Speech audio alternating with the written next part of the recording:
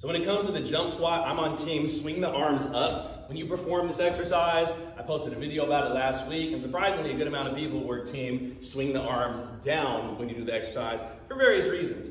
One of the replies I saw was, well, I do it for cardio. I don't care how high I jump. I just want to get a lot of reps in or do it for a long time. That's fine. You it for cardio, do whatever you want. All that really matters, again, is how long you do it, like how fast you do it. But I also saw a lot of comments saying, well, I'm doing it for strength.